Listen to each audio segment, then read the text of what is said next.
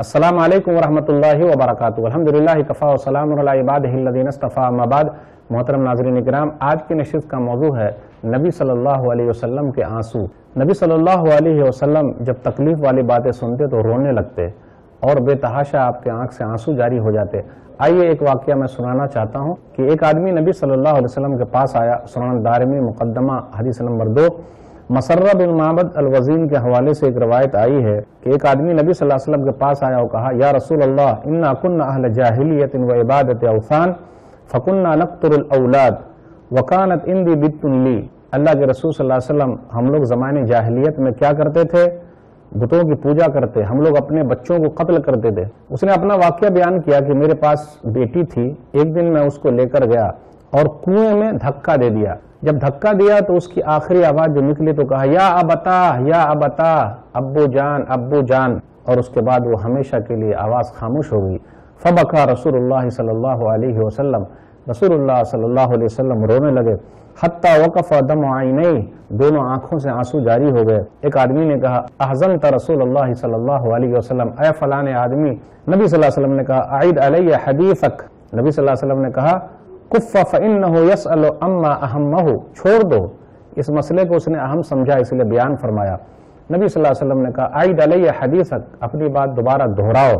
پھر دوبارہ اس نے دہرایا، حتیٰ وقف دم من عینی علی لحیئی تو یہاں تک کہ نبی صلی اللہ علیہ وسلم کی دونوں آنکھوں سے آنسو جاری ہو گئے اور داڑھی آپ کی بھیگ گئی، تربتر ہو گئی۔ اس کے بعد نبی صلی اللہ علیہ وسلم نے فرمایا، ان اللہ قد وضع من جاہلیت ما عمل فستانف عملک. کہ اللہ تعالیٰ نے زمان جاہلیت کی تمام چیزیں معاف فرما دی ہے اب جاؤ نئے سرے سے اپنی زندگی شروع کرو۔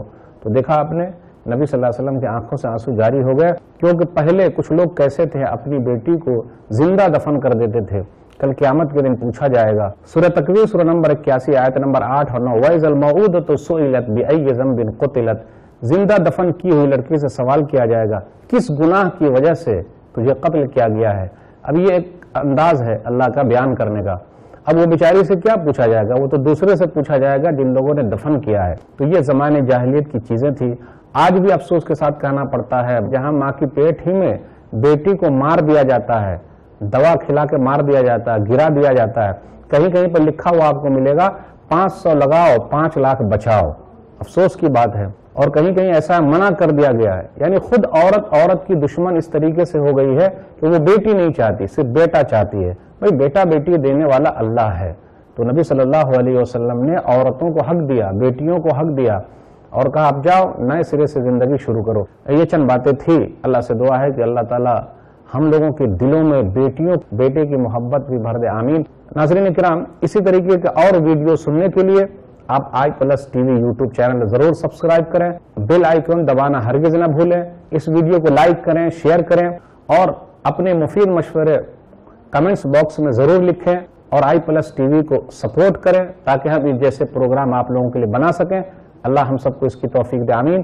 والسلام علیکم ورحمۃ اللہ وبرکاتہ۔ سماج سے برائی مٹانے کی کوشش میں آئی پلس ٹی وی کا ساتھ دیں۔ یو پی آئی کے ذریعے ڈونیٹ کرنے کے لیے ڈونیٹ علم at the rate I C I C I per transfer کریں ایسے ہی اور ویڈیوز بنانے میں ہماری مدد کریں۔